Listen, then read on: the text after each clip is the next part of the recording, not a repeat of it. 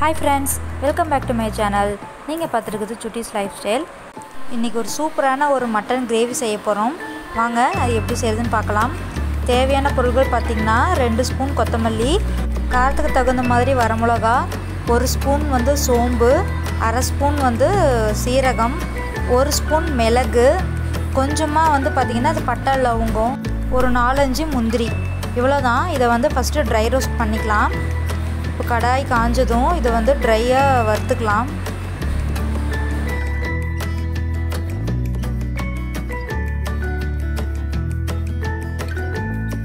இப்போ இதை வறுத்தாச்சு இதை வந்து ஆற விட்டுறலாம். இது கூடவே சேர்ந்து இன்னும் வணக்க வேண்டிய பொருள்கள் பார்த்துடலாம். இது வந்து பார்த்திங்கன்னா ஆயில் ஊற்றி வணக்கணும். அதனால தான் இப்போ தனித்தனியாக வறுத்துட்ருக்கேன். ஒரு கொத்து கருவேப்பிலை கொஞ்சமாக பூண்டு பல் ஒரே ஒரு சின்ன இஞ்சி துண்டு ஒரு பச்சை மிளகா ஒரு பெரிய வெங்காயம் பெருசாக எடுத்திருக்கேன். தேவையான அளவு தேங்காய் பூ.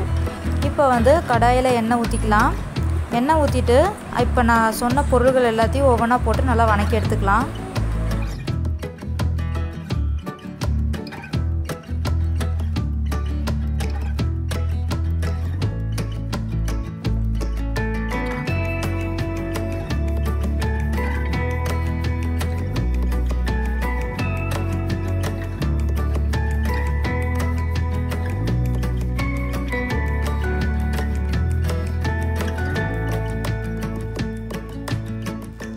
கண்ணாடி பதத்துக்கு வந்துருச்சு வெங்காயம். இந்த ஸ்டேஜில் வந்து தேங்காய் பூ ஆட் பண்ணிக்கலாம்.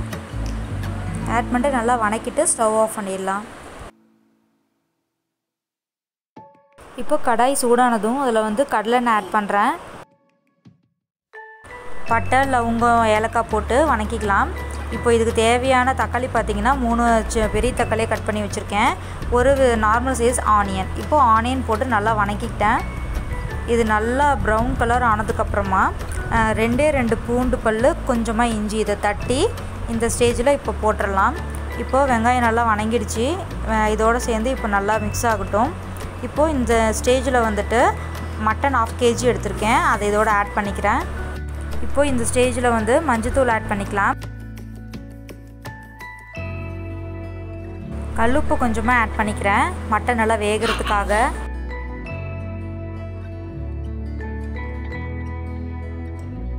இப்போ பார்த்தீங்கன்னா மட்டன் நல்லா தண்ணி விட்டுருச்சு. இந்த ஸ்டேஜில் வந்துட்டு நம்ம தக்காளி ஆட் பண்ணிக்கலாம்.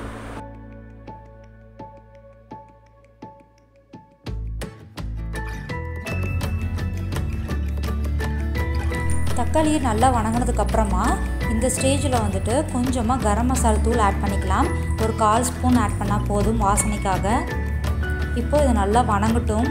வணங்கினதுக்கப்புறமா நம்ம கிரைண்ட் பண்ணி வச்சுருந்த பேஸ்ட் எல்லாம் ஆட் பண்ணிக்கலாம்.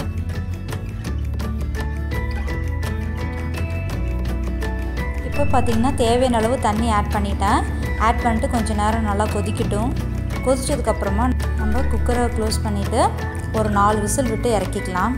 பார்த்திங்கன்னா நல்ல டேஸ்டான நல்ல கலர்ஃபுல்லான ஒரு மட்டன் கிரேவி கிடச்சிருச்சு. இது நல்லா மட்டன் பார்த்திங்கன்னா சாஃப்டாக வெந்திருக்கு. நாலு விசில் வந்து போதுமானதாக இருந்தது. இப்போது இந்த மட்டன் கிரேவிக்கு சூட்டபிளான ஒரு ரைஸ் என்னன்னு பார்த்தோம் அப்படின்னா தேங்காய் சாதம் இந்த தேங்காய் பால் சாதம் வந்துட்டு எப்படி செய்கிறது அதுக்கு தேவையான பொருட்கள் என்னென்னன்றதை பார்த்துடலாம் ரொம்ப சிம்பிளான பொருள் தாங்க இஞ்சி பூண்டு பேஸ்ட்டு ரெண்டு ஸ்பூன் எடுத்திருக்கேன். பட்டை லவங்கம் ஏலக்காய் ரெண்டு ரெண்டு எடுத்திருக்கேன். அப்புறம் புதினா வந்து ஒரு கையளவு போதும். அரை மூடி தேங்காயில் வந்து பால் எடுத்து வச்சுருக்கேன். இப்போது இவ்வளோ தான் இதை வச்சு தான் நம்ம இன்றைக்கி தேங்காய் பால் சாதம் செய்ய போகிறோம் இதுக்கு வந்து எந்த வெங்காயம் தக்காளி எதுவுமே தேவையில்லை. ரொம்ப சிம்பிளான ஒரு டிஷ்ஷுன்னு பார்த்திங்கன்னா மட்டன் கிரேவிக்கு வந்து இதை நம்ம செஞ்சுக்கலாம். நான் இப்போ குக்கர் தான் எடுத்திருக்கேன். இதில் வந்து ஆயில் சூடானதும் பட்டை லவங்கம் ஏலக்காய் சேர்த்துக்கிறேன்.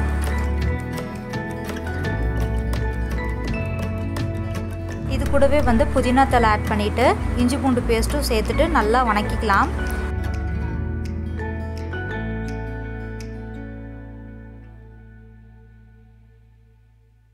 இப்போ தேவையான அளவு மஞ்சத்தூள் ஆட் பண்ணிக்கிறேன். இந்த மஞ்சத்தூள் தான் வந்து சாப்பாடுக்கு கலர் கொடுக்கக்கூடியது. ஸோ கொஞ்சம் அதிகமாகவே நம்ம ஆட் பண்ணிக்கலாம். இப்போது நல்லா வணங்கிடுச்சு. வணங்கினதுக்கப்புறமா நம்ம தேங்காய் பால் வந்து ஆட் பண்ணிக்கலாம். எந்த மெஷர்மெண்ட்டில் ரைஸ் நம்ம எடுத்தோமோ அதே மெஷர்மெண்ட் உள்ள கப்பில் தான் வந்து நம்ம தேங்காய் பால் ஊற்றணும் அப்போ தான் கரெக்டான பதத்தில் வேகும். இப்போது ரெண்டு கப் வந்து நான் இதில் ஆட் பண்ணியிருக்கேன். ரெண்டு கப்புன்றது போதுமானதாக இருக்கும் இதுக்கு.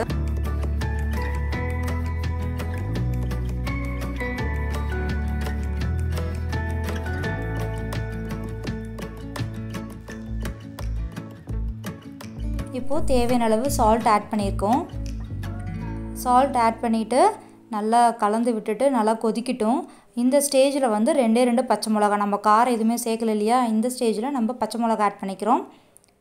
ஆட் பண்ணிவிட்டு இப்போது ரைஸ் நான் அதில் சேர்த்துட்டேன். சேர்த்துட்டு நல்லா கொதி வந்ததுக்கப்புறமா நம்ம விசில் வச்சிடலாம்.